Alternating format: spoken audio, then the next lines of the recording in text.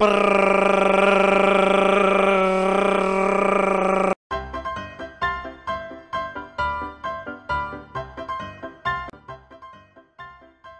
up guys, my is Drive here, and today I'm doing a quick vlog on some pretty cool stuff that happened. Uh, I got my laptop here, uh, finally. My parents found it in their uh, death trap of a room, and so I'm able to record with my very nice mic without any sort of editing software, so you can hear that fish tank behind me. And uh, you get to see me through the very crappy camera. Oh yeah, I love this camera. It's so crappy, it makes me wanna dance with joy.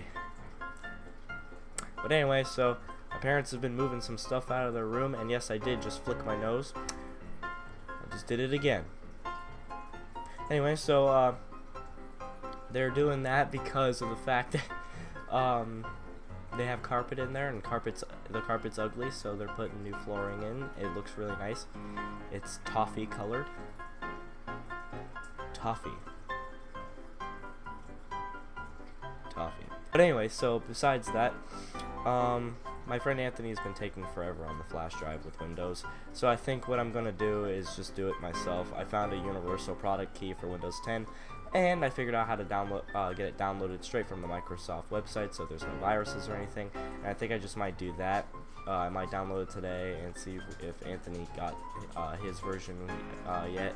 If he didn't, then okay, well, I'll do it myself. If he didn't, then or if he did, then still might use my method because his his dad uses a Windows 10 activator versus using an actual product key which means it doesn't truly um or it doesn't truly activate Windows it just gets rid of the watermark and enables privileges and stuff but if you put in a product key then it's like a true activated thing and I just hit my mic I'm sorry but uh, anyway, I just wanted to let you guys know a little update, and uh, yeah. Thank you for watching. if you liked the video, like it. If you dislike it, dislike it. And I'll see you, my compadre amigos, in the next video.